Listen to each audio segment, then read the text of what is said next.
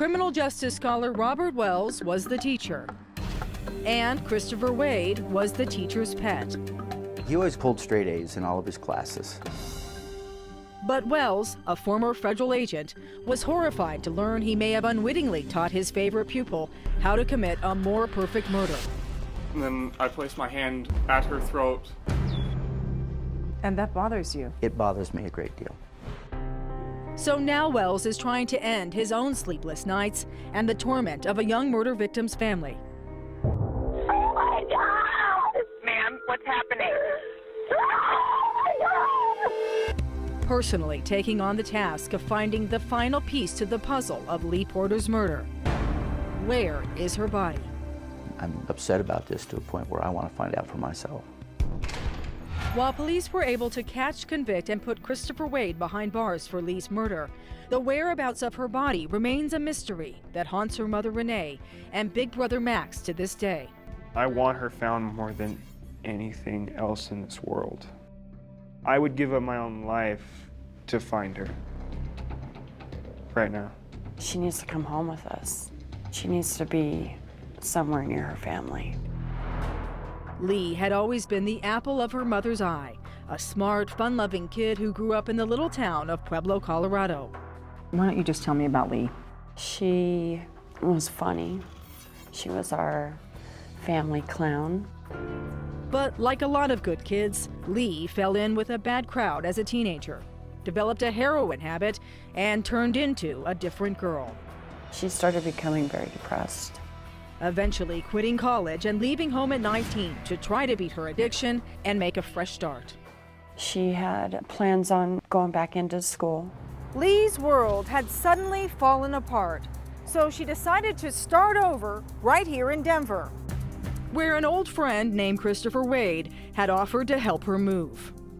But it would not turn out the way Lea had expected. And her family would never see her or hear from her again. I got a phone call from my son, and he was frantic. And he said, Mom, I have been trying to get a hold of Lea. She won't respond. I was like, okay, something is seriously wrong. Lea's worried mom called Waide, who told her she had left the same day as she arrived. She had gotten a message late that night, and the next thing he saw was her getting into a white truck. Waide seemed to be cooperating with the police. He even led the search to find his young friend, placing numerous items about her disappearance on his Facebook page, including missing posters seeking any information on her whereabouts.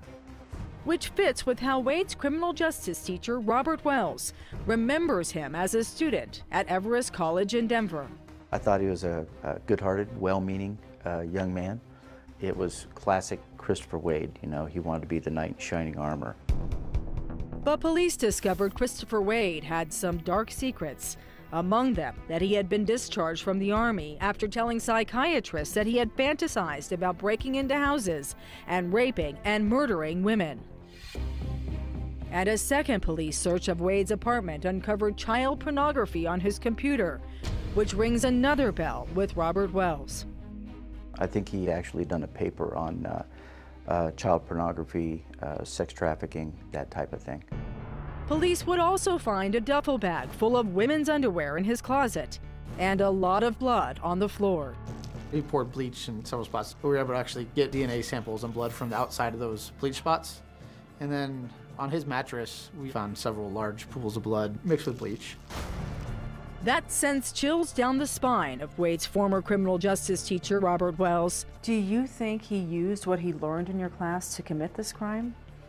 Well, talking to uh, uh, the authorities, um, it appears as though he, he, may have.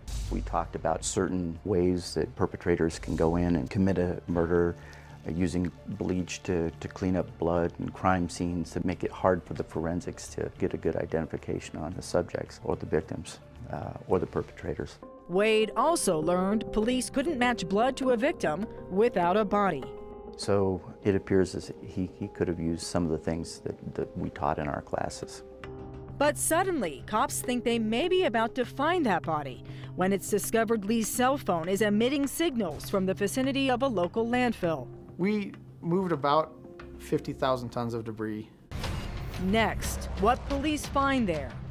Lea's brother Max goes undercover, and former federal agent Robert Wells goes after the missing piece of the puzzle.